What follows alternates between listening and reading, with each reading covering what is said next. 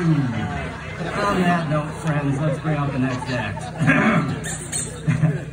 Jasmine Key aka Hot Hoop Dance Mama, has been hula hooping for 10 years. She currently resides in Austin, Texas, and enjoys teaching the art of twin hooping online, does tutorials for Patreon, in person, and at flow festivals. Jasmine has a doctorate in flute performance and currently plays with several symphonies in Texas, as well as teaching at a private flute studio of flute students around and in the Austin area. Folks, let's hear it for the one, the only, the hot hoop dance mama!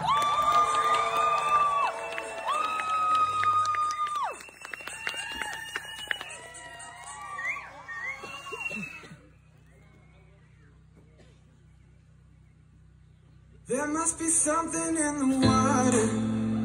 And there must be something about your daughter. She said, I love you nothing but a monster. My love ain't nothing but a monster with two heads.